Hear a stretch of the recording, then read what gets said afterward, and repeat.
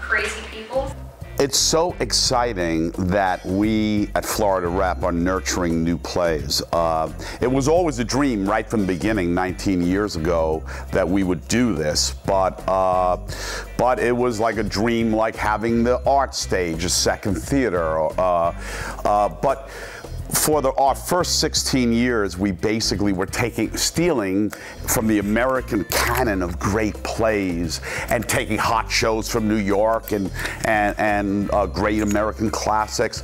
And during those first 16 years, we we've been nurturing actors and directors and designers and administrators and, and interns. And, uh, but we haven't nurtured the playwright. And it's uh, three years ago when we made this commitment to do do a new play series, and every year to do a world premiere, uh, we're finally giving back to the canon of great plays and helping playwrights nurture those plays. This story in particular is incredibly poignant and powerful and important, I think, because of the time that we live in. It's about working class people trying to uh, make their way in the world as best they can and hope and reach for that American dream that has been true for generations. People walk in and they see a double wide trailer um, and they see these characters, they see you know, Sharon takes off her coat and she's wearing the Walmart vest, and we get a we've gotten a reaction every night from that of people like chuckling and in recognition they think they know what this play is going to be about. Um, but what I'm doing, what I'm hopefully doing with not just the play but with every character is showing the stereotype and then cracking it open. The line that really, uh, to me, like is so powerful in that play and epitomizes the play is when Jim Starkey uh, says, "My grandfather owned a house. My father owned a house. Why can't I own a house?" And it was so beautiful because he's a hardworking man. He's working, you know, every week of his life since high school in a factory. His wife works for Walmart. These are hardworking people, and yet they can't seem to capture that American dream. They're living paycheck to paycheck. And the reality is, there is a lot of people in America who, who live that way.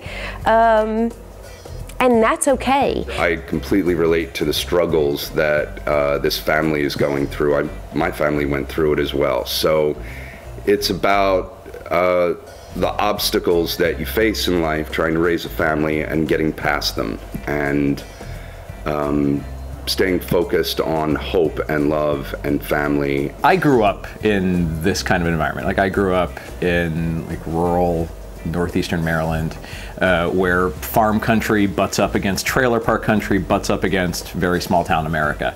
And when I go to the theater, rarely do I see that portrayed on stage, at least uh, with the kind, like, in a way that I would recognize, in a way that the people I grew up with would recognize. At the very beginning, I was fortunate to get to do the first reading with our company of uh, Double Wide. And seeing the playwright, he was really very shy and soft spoken, and it was hard to tell, you know, what kind of person he was. As it evolved, it was apparent that he was talking about himself or his family or people he knew. And it was um, a considerable difference from what the general public will have of people who live in trailer parks. The first time Double Wide was ever read in Florida was actually not at Florida Rep. It was at Gulfshore Playhouse, uh, about an hour from here in Naples. Um, I had submitted it to their new play festival, um, and they chose it, and it was read there in uh, the fall of 2014. Um, and it got a really great reception from from the uh, the audience there. Um, and then it was, I guess, about a year later when I received an email from Jordana Frazier at the National New Play Network, and they said, "Well, Florida Rep is looking for submission for scripts for their New Play Festival. Uh, if you have something they might like, please send it along. Um, and I did, and it got chosen for that play festival in May 2016. And I came down and we workshopped it, and then Florida Rep chose it to round out its 19th season. I need you to pack. Little privacy, please. This is what you have to look forward to. I got two bathrooms. She can pick one and hog it to her heart's content. You say that now. So the National New Play Network is uh, is celebrating its 20th year, just like Florida Rep is about to. So we've been around for about the same amount of time. They work out of D.C., out of a little office uh, at the Woolly Mammoth Theater. Florida Rep, which is an associate member of NNPN, produced uh, a reading of this DC playwright, Stephen Spotswood's new work, Double Wide, last season as a part of their third annual play lab. Audiences loved it, and Bob and the crew decided to include it in this 2016-17 season. So then they let NNPN know that they had decided to mount a full production, and NNPN reached out to other member theaters via our monthly alert system to let them know that the folks at Florida Rep thought that other readers, other people should read this play and that they would like it.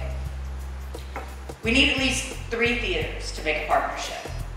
So a second theater came on and said they wanted to produce it, and then a third, and then in this case, a fourth, and a partnership was born.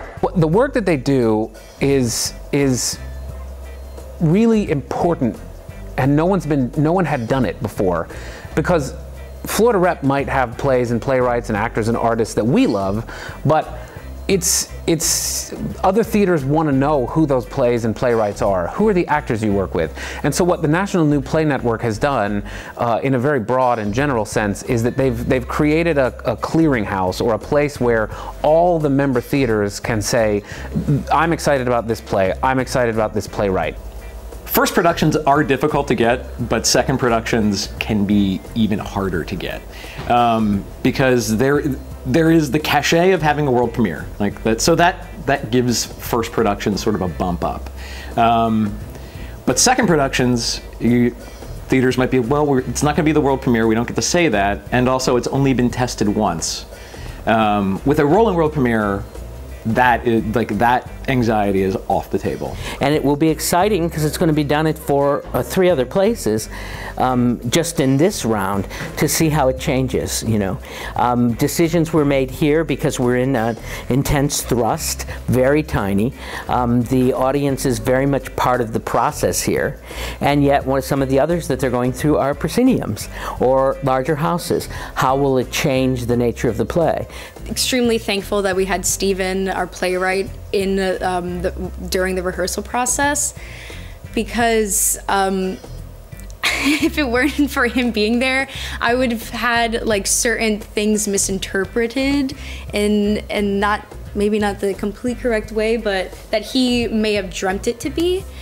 If we did have a question about how something works, or is there part of a story that maybe we're not getting, or what is here that I don't know, then we could go to him and be like, hey, what's up with that? What do, what do we do here? He's so interested and willing to collaborate.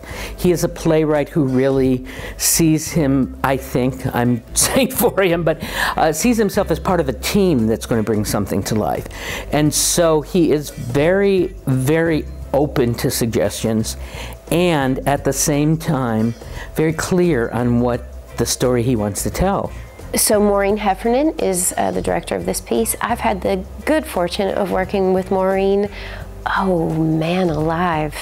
I've known Maureen for 15 years. Um, she is a dear friend. Uh, she's an inspired artist. She's an amazing collaborator. Um, she creates a room that is generous and open, and everyone's voice is heard. I've never worked with Maureen before, so as an actor, it's always a gift to get to work with a brand new director and get to see a perspective that, you know, obviously as an actor who's completely invested in the point of view of your character, you don't see it from the outside. And Maureen was able to add so many little nuances and details. She's super smart. She knows what she wants from the show and she has her vision. Um, and she knows how to help get the actors to where she wants the piece. I'm Chuck. I'm tutoring Lorelai. That's today. It's supposed to be, but she's a. You know, I can go. No, she needs the help. Have a seat. Okay. We've also been gifted with a wonderful cast on this.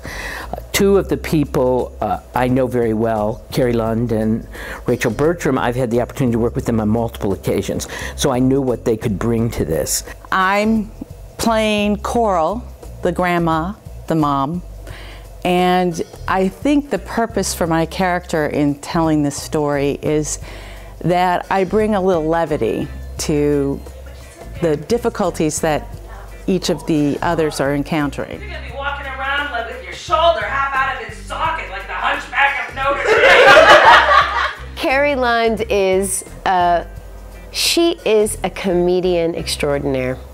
If there is a laugh to be had in any way, shape, or form, Carrie Lund can land it, man. Gregg's a new member of the, well, he, he was brought in, new actor to the company, and in every way served as a perfect star for the show. It might as well. I might as well have tailor-made Big Jim for him. He slipped into that role uh, like it was a bespoke suit. It was. It's been brilliant. Um, he. I'm not even sure he acts really. I think he just just is himself on stage. No, I won't. Yes, I will. Okay. If I were to open up a dictionary and look up the word man, Gregg Weiner would be right there. He is so talented. He is so funny. He's such an overall great man. But Big Jim's not an easy character to play. Uh, there's got to be. I mean, y- you have to love him from like scene one. Like you, you just have to. Otherwise, the rest of the play is not going to hold together.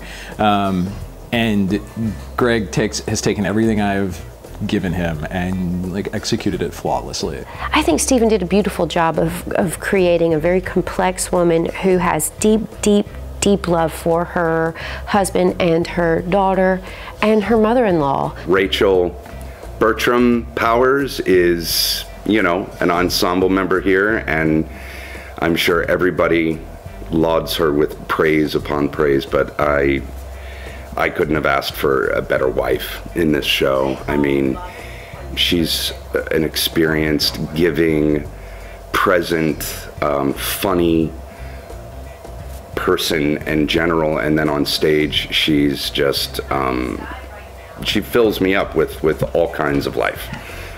So Dillion, sweet Dillion, he is uh, he was an intern here at Florida Rep. Uh, last year. He came uh, uh, so enthusiastic, um, so ready to do this, very skilled. Once we started working with Dillion um, in in the second workshop and in rehearsals, um, he brought so much to Chuck, um, both in terms of just uh, I want to say likability, but I mean part of it is likability. Um, like Dillion is just likable. You want to root for Dillion. Zookeeper told me, watch out, not to get too close. And he said, just because it was in a cage, the tiger is still a wild animal. It could still rip my arm off. Okay. You're the tiger. I was really intimidated by him for no reason.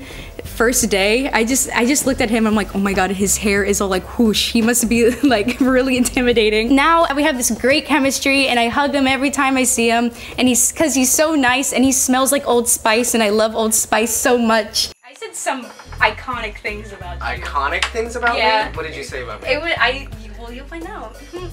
And then this light, that's Isabel. Not only has Bella brought like straight out raw talent, um, she has brought the perspective of a 17 year old girl to this role where uh, like both Maureen and I have uh, been using her as our like ersatz dramaturg for Lorelai and just talking about oh how would you respond in this okay well let's think about how, how we can transfer that to Lorelai I first saw her in a production last season of Romeo and Juliet, and then I got to see her do the staged reading of In Vivo last year. Um, and I was really just in awe. I was like, she is so young and talented and has a lot of potential. And so when Jason told me that they were looking at her um, for the role of Lorelai, I was like, of course they're looking at Bella Cintron. Of course they are. Getting to be a teenager playing a teenager is was a good choice because I feel like the fact that I know what it's like right now, we've all been through that horrible teenage emo phase. I can 100% perfectly like understand everything she says and how dramatic she can be at times. I said, you won't like any guy in dating. I love him. He's a great guy. We're in love. If it was an actual person, she'd be my best friend. These are my costumes. I love these two the most because I would wear this IRL in real life. And this is my work outfit. My name is Patty when I feel like I'm a Patty. And my name is Janice when I feel like a Janice.